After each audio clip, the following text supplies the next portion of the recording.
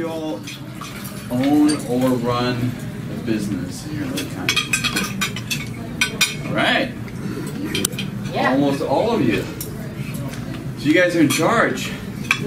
Set your own hours, make the big bucks, rainbows and unicorns, right? Yeah, Yeah, right. That's not how it went for you. Zero commute. That's not how it went for you either. So, so tell me, what, what's it really like then? It's, it's not all rainbows and unicorns. Anybody ever uh, stay late to get something fixed? Yep.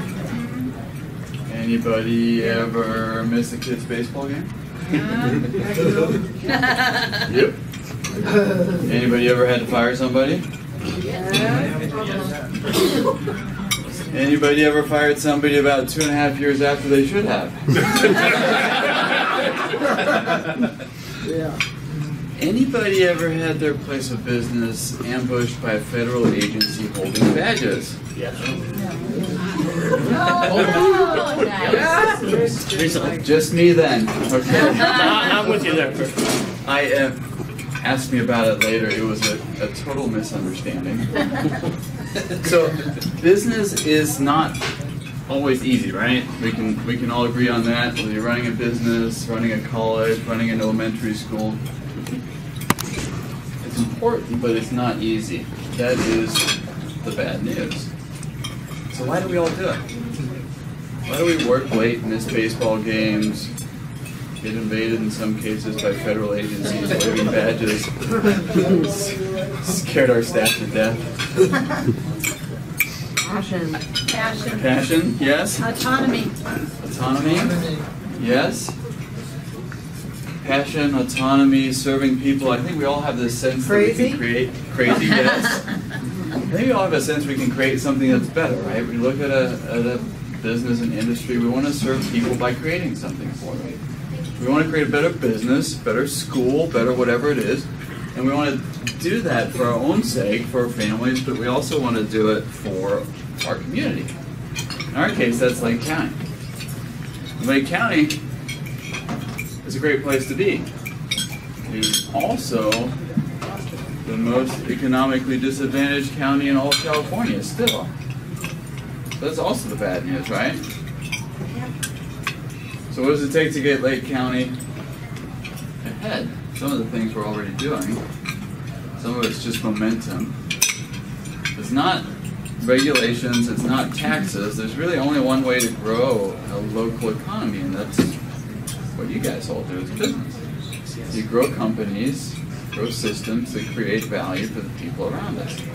And then that, of course, creates taxes, and we can get nicer roads and hire more police officers, and those are all really good things. But those don't come from anything other than creating value in business and the people around us, for the people around us, and also for people that come from the outside. If you spend more than about 20 minutes at Six Sigma, you have heard about grapes, heard about a lot of things that include good wine.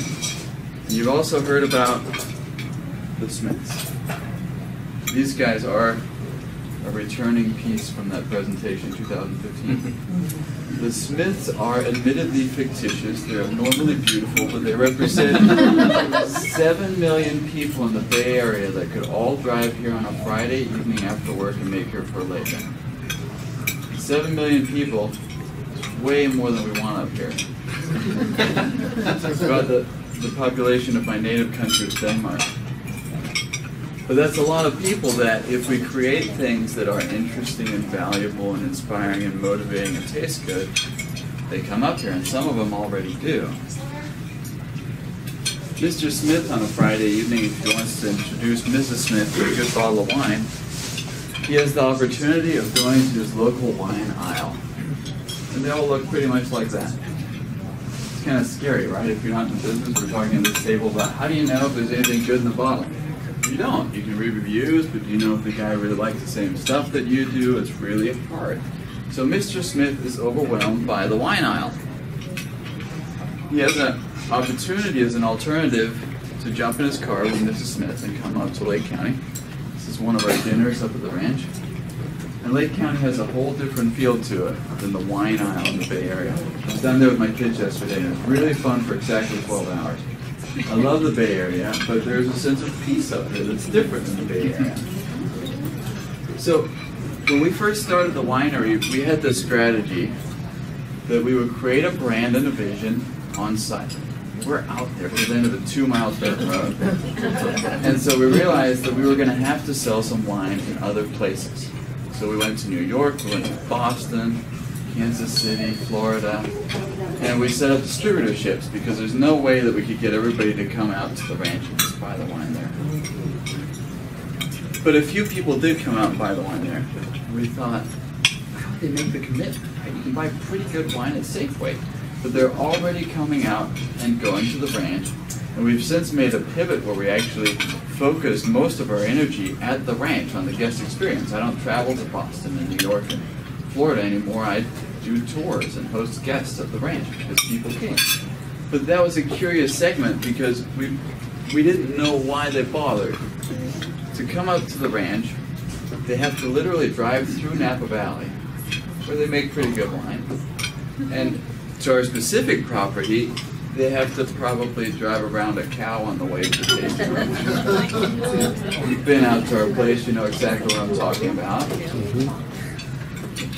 And yet they did. So we did a, a business school thing where we got a bunch of people together in a focus group called Voice of the Customers. Very complicated. It's not that complicated. You just get people together and you ask them a bunch of questions, and if questions are good enough, you can learn a lot of stuff. This was actually that focus group eight or nine years ago. We got people together and said, "Why are you all customers here?" And we wanted to know for a couple of reasons. Most notably, we wanted to know if these are our best customers, and they were. We could afford to give them a free dinner. Some of these guys buy a lot of wine. We wanted to know where they come from and where their friends came from, so we could get more. We learned from these guys, much to our chagrin, that there is more to life than good wine. You don't like to hear this when you get make wine for a living. Martin probably struggles with this idea too. That there is stuff to life other than good wine. And we asked them, my goodness, what is there other than good wine? And they said, well, those guys make pretty good wine. And you guys make pretty good wine, and so does Robert Mondavi. The truth is, a lot of times, especially in a social setting where the label goes away, we just want good wine. You know, there's, there's more to it life than the label, the details. We want to know what's right, but some of us honestly can't taste the difference.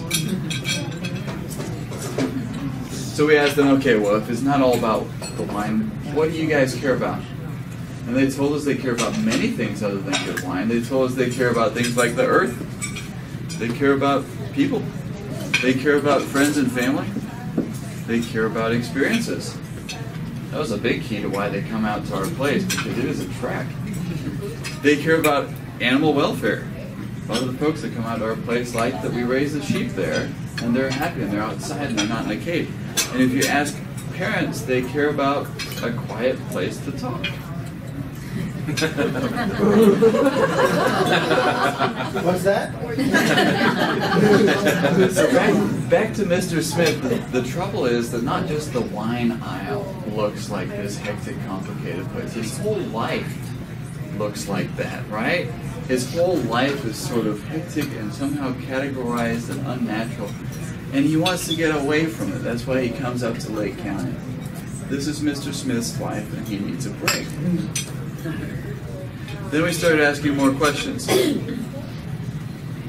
What does he want? Turns out he's willing to go to small shops, A&H General Store or butcheries. This is a butcher shop in France. It looks like where I grew up in Denmark, where my dad would take us to the butcher shop and the greenery shop. We don't even have greenery shops here. It's like a farmer's market, but it's in an actual store. And the bakery.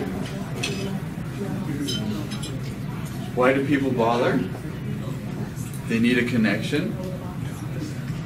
And why do they bother coming to Lake County? They need a connection. Okay, great, but we're business people.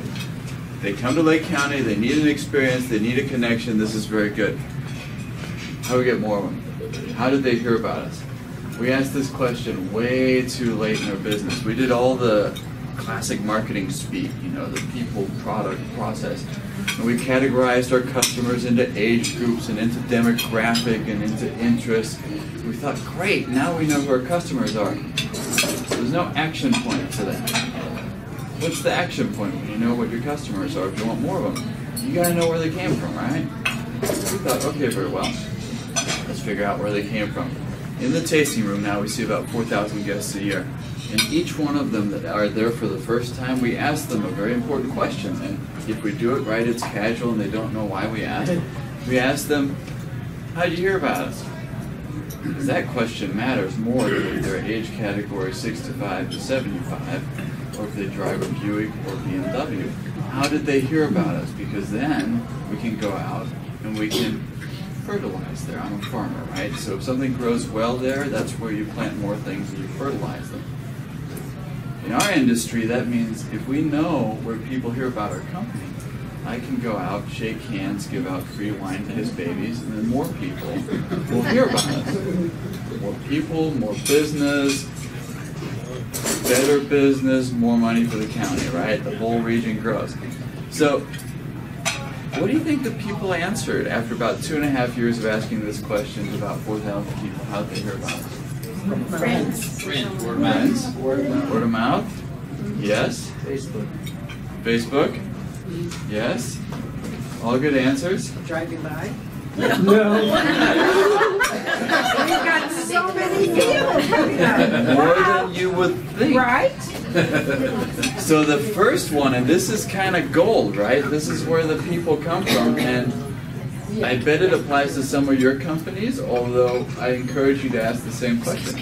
We even incentivize our frontline staff. We pay a certain bonus for signing up wine club members, for selling cases, and for asking this question and writing down the answer. Actually pay our frontline team a small fee for doing this because it's that important. 40% heard about us and came for the first time because they heard about us from another winery. So that's word of mouth, right? But it tells you two things. One is people make really short-term decisions. They came to Lake County, they went to a winery, and then they asked where to go to the others, but they're not that unsmart because who else would you ask? As a result of this, I spend many a Friday afternoon going out to some of these other wineries and saying, Christina Bransfield, thank you so much for the referral you sent this week. Here's a bottle of our pre-release Sauvignon Blanc. What does Christine do? She drinks with, her husband. She tells more people about Six Sigma. And this is actually really good because as long as you honestly believe what we do, that means that when guests come up here, we bounce them around to all the good places, right? If they just bounce around wherever, there are some really good companies out there, and there's some okay companies. We should hold each other accountable for that, but don't send the guests to the okay ones. Hold those guys accountable for making better companies. If you're here, you're probably running a pretty good company. But we want to bounce the guests to the good ones so that they go home, and just like Walt Disney said about Disneyland, do what you do so well that they want to come see it again and bring their friends. After another winery, the hotels and bed and breakfasts. Sixty percent of the guests did not plan what winery they're going to come to when they came to us first. They asked when they came. Where do you think's the other place I go around and get bottles of wine to? Hotels and B and B's knows very well. On Friday, they're all going to get a bottle of our pre-release Sauvignon Blanc before it even hits the market. It's really good, so they're going to like it. Did you bring any? I did not. I should have. Where's your wine? I know. I should have bribed you guys while I was here. What wine? And then come the friend and the family. So those are about 80%, and that's all word of mouth. You know what we haven't hit yet is big advertising budgets, not even Facebook sponsorships. And then, to Tanya's point, the highway sign. We've got a pretty nice sign with a light on it. It drives 10% of our new business. That's pretty cool, right? I bet your sign drives some business too. That's how I found you the first. And I have literally this month sent three people to Star Gardens, just this month. He And wants some potted plants. Yeah. And then this elusive other, right? We all learned in business school, if we went to business school, that there's marketing, there's promotion, there's all these big things, they're all very expensive. But if you market and promote something that's not speaking to people, it doesn't work. The funny thing about the referrals is nobody ever said, I heard about you from a friend or a hotel. They always said, they told me two tasting rooms and my buddy knows your place. It comes from all different directions, but nobody sees an advertisement that comes anymore. I think that used to work, but according to our numbers, two years worth of research, it doesn't, it doesn't drive traffic. So as much as I would like to think that a glamorous four-page write-up in Wine Enthusiast would drive piles and piles of traffic. And the many other articles, we love them, right? It's nice, we put them in our press kits. Jim Gordon is good to us, he gave us a 90-point ratings, he took those pictures. Got five or ten guests out of this. Four pages in the second most prominent wine magazine in the richest country in the world. Five or ten guests. One guy called from Florida and joined the wine club sight on scene. That's great, we love it. But that's a very small percentage of that big list. And we had to get those data to do that. We actually spent up to ten thousand dollars on advertising in big magazines when you first start, that's a really good way to burn money, and it apparently doesn't return any. Isn't that crazy? If I take ten thousand dollars worth of wine or tickets to arrange the table dinners and send them to all our top customers, you can bet that makes a lot more waves than an article in the Wine Enthusiast magazine. Or certainly an advertisement. This is even editorial. What does matter is what we plant. It's all those little contact points for our individual businesses or for our counties. We sow it and we reap it. It's in a great old book. You read it sometime. I like it. It's good business practice in there. Sowing and reaping. It works. I have to do my little soapbox. You can't read it, so I'm going to tell you about it. I walked into a, a Lake County business that will remain anonymous. And it was so touching that I wrote to the paper about it. And I've had more conversations about this topic than anything else in the last who knows how long. So essentially, I get this famous, oh, we're doing this in our business, and it's hard. You know, it's just Lake County. It's a Lake County thing. And this gal wanted me to agree. Oh yeah, it's just Lake County. Let's bash Lake County. And I did. I did not agree. I told her, you know what makes Lake County what it is? People like you. for good or for bad. Whatever you tell people is what they believe because we flatter ourselves that Lake County has a bad reputation sometimes. Lake County doesn't have that much of a reputation. You go down in the Bay Area, we have a bunch of cyclists that come up every year. You go, we never heard of this place. This is so cool. We make our own reputation. We make our own reputation by what we tell the guests. This lady was startled when I told her this, but the math is right. We go, and in our case, we see 4,000 people a year, roughly. And you guys probably see some of you more, some of you less. But if there's 30 of us in here, and we connect with 4,000 people, it's 120,000 connections. It's a lot of people, right? So if we tell all those people, oh yeah, you know, I'm glad you made it, it's just Lake County. They go home, they go, I'm not so sure about Lake County. They're not so sure about it, so I'm not so sure about it either. but if we tell them, tell you what, while you're here, you, you're gonna want to go to the saw shop. Oh, you guys just moved here? You're gonna want to go to Tanya's place and buy the plants for your front yard. Computer problem? Mark's place. Mark fixes it every time. No, there's a bad computer guy somewhere. Don't recommend that guy, right? 120,000 connections out of this room every year makes a difference, right? A lot more than the people that flew by that wine article in Wine Enthusiast magazine. I can't tell you how many people never saw the thing. We're happy about it, we're honored, but that's not what makes the difference. What makes the difference is what we do, what we tell our teams, and the experience we give our guests. Great example high school mountain biking is a thing now. I wish it had been a thing when I was in high school.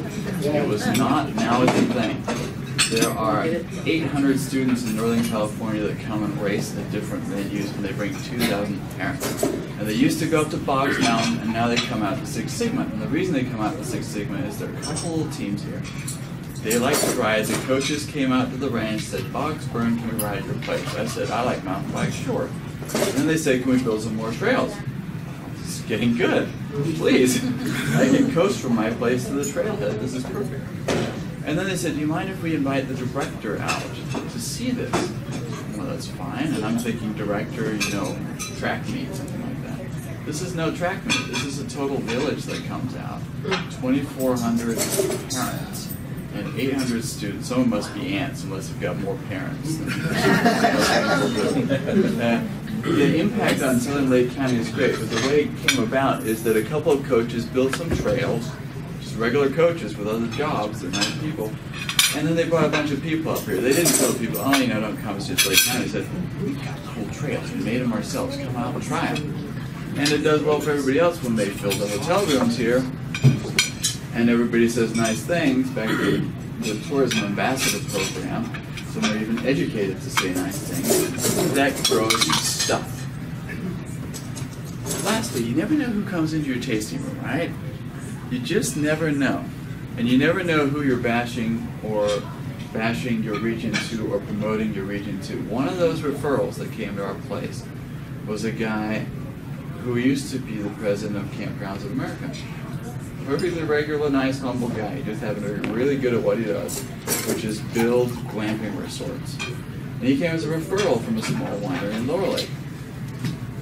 Came in, he'd been in Lake County, he had, has a mandate from a parent company in France that builds glamping resorts with 150 tents, so like a small boat. And he was supposed to find a plot in wine country. So he started in Napa, he looked at Sonoma, those guys have so many regulations, he didn't do anything with it. He came to Lake County, looked around, didn't find anything, decided, all right, I'll taste wine on the way out of town. At this winery where he's tasting wine, the guy goes, hey, have you been over to Six Sigma? What you're doing sounds like it might turn out just fine. So this guy sends us an unsolicited note because of a great referral. I build glamping resorts. I invest six million dollars on a five-year lease. Would you like to talk about that? So that sounds interesting. we'll be about half the size of Konocti as far as guest traffic. Host 400 guests or so on a given Saturday night. So we've been working with them for two years now on a contract. We started with a four-page letter of intent. And this attorney's go is now a 42-page letter of intent turned into a contract. But the point of the story is a nice referral turned into a really cool opportunity. The good news is that there are lots of opportunities here. The bad news is that there's a lot of work to do. Mm-hmm. And the good news is that you all infect about 120 people a year, so all of us are the ones that are just cut out right to do it. Thoughts or comments?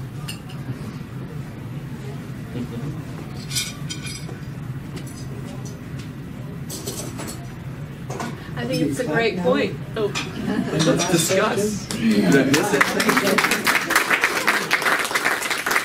I especially like your point.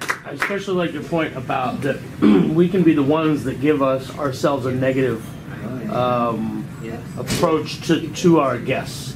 I'm not from here. I've been here three and a half years. I'm from San Francisco. I came from a from a perspective where we're the best. And I don't change that when I'm here, but I've seen the difference of some of the people that are here in Lake County. and I love everything you're saying. It's very similar to what I've been trying to do with the Greenview of like, no, it can be better. We we are better than this. We have so much to offer. And look at the positive things that we have in Lake County instead of the negative things. That's why I'm here tonight. That's why I'm on this board. That's why I'm on the Lake County Wine Association board. There's a lot of great people doing great things here, and I think we just need to get together and work together and multiply this and build this. I'm digging everything you're saying tonight. Really, it really, yeah. It's also a matter of momentum because it's not that nobody's been doing anything. When we came up here six, you know, 20 years ago, there were six wineries, and they're pretty good.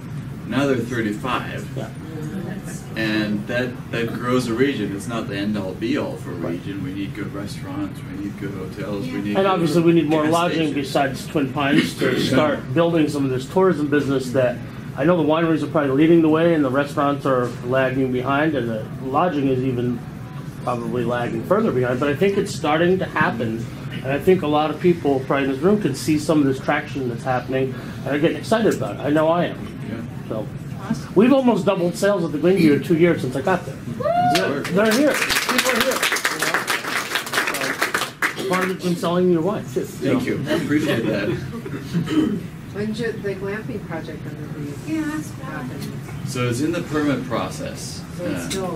And it's years away. complicated, so it's complicated to permit. Uh, For we- we- lodging, you know, for those four hundred guests that are gonna be shopping at. the Yeah, We're gonna give her parking time. I know, I need more parking. we'll probably need plans for the glamping resort, right? Yeah, it is in the permit process of the county. The county is doing nice with it, but it is, it's a complicated deal. Um, so it could be this spring, that's what we're hoping for, otherwise it's this summer, and then it goes up pretty quick after that because it's, you know, it's platform tents, it's all very low footprint, so there's not much to setting it up. Hey Josh?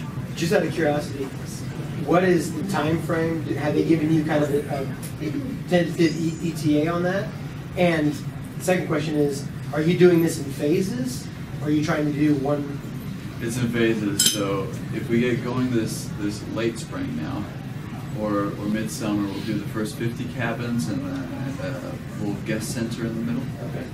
Uh, and then based on how fast that grows. The picture had a pool and stuff, that, that's not. Yeah, that's the, g- that's, I mean, they, they're not all identical, but that's the idea. It's, it's like a twenty-five hundred square foot guest center with a restaurant and a small, uh, you know, small bar and, and then also a pool to go with it. That was one of the things that the county was creative and helpful. They said, well, we have some concerns about fire hazard. And then another guy from the county goes, well, just make the pool bigger. We can use it for fire. That's right. That's exactly right.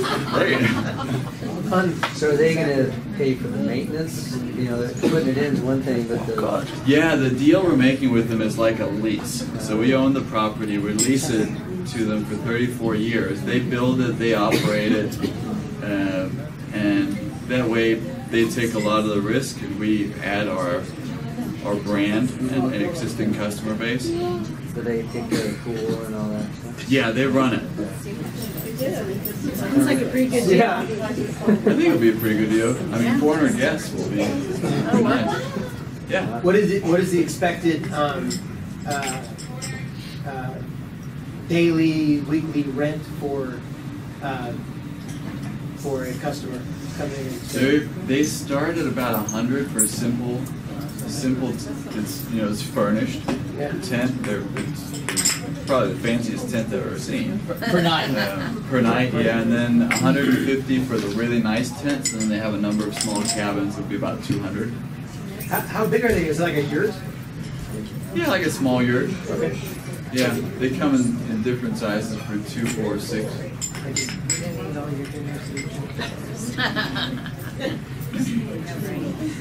You guys probably want to get to dessert. No, Christian, I got a question. Yes. What, what would you, what would you suggest as an, as a next step for all the business owners that are in here who have used the traditional means of marketing themselves, print advertising, Facebook and such? What you brought up there is, is really very simple. It's very simple, but it's, it takes a mind, a change of your mind. Yeah. So what would you suggest as a first step on how to, It's how a to great, proceed that? it's a great question. Of course, you can't just steal our numbers. You're welcome to them. But your- yours are going to be different. I, I think the number one thing to do is to figure out how to track what your numbers are. Um, it's, it's key, right? We, we go as far as when guests come in the tasting room, we ask where they came from, we stick it on a spreadsheet, and then we actually put on there how much they spent. So I could tell you on a given time frame how much the referrals from Wyndham or uh, Twin Pine or whatever uh, are spending.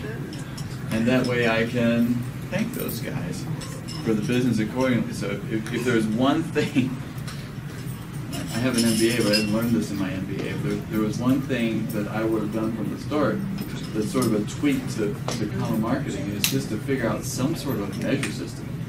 Is, is where do your guests come from? How do they hear about you? Not who they are, but how they heard about you. And measure it and, and then figure out how to fertilize those, those sources.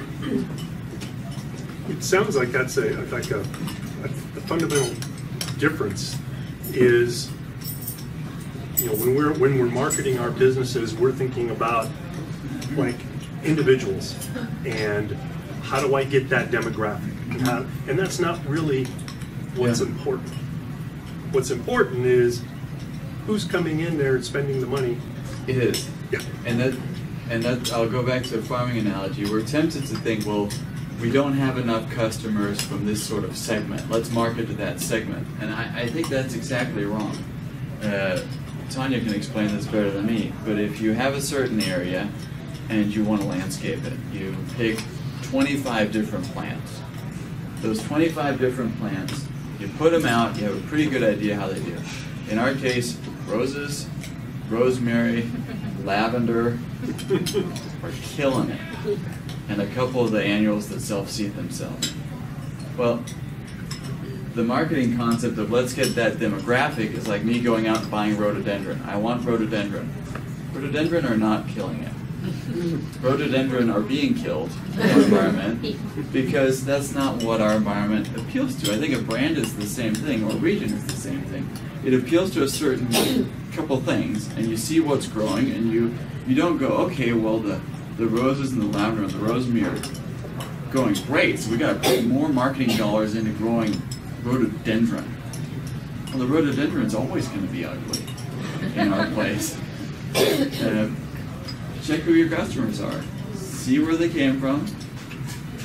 See what they're comfortable with, and that's exactly who you want to get more of because they're already have proved that they they jive with your brand from whatever source they came from. I think that's a really valid point because I know coming from San Francisco, I had this mentality of like, well, I don't know where I'm going. I'm going to do what I know. And I had to be very honest with myself about what was working and what wasn't. Yeah, And learning who my customers are and what they want. yeah. If you can try to force things down people's throat all day, and it's it's not the way to go. You got to see who's coming in here Yeah. uh, four times a month, spending their money, and I got to make them happy. Yeah. And then I can put my spin on it. But I, you have to, you really, I think that's a really good point. You have to look and see what's growing well on your property, or however you want to word it. But yeah, Yeah, and slowly and incrementally train because y- you can move a customer base slightly when you put your spin once on it. you've got them as a customer, right. but you got to build them as a customer, for then they're willing to go with you a little, a little way. Yeah, and that, that's where it's different than my plant analogy because I can't I can't train a rhododendron. I can maybe select for the one that did a little bit better and get into breeding, but that's too complicated. We might as well just pick what works and, and do more and more of it. Thank you all for your attention. Thank you.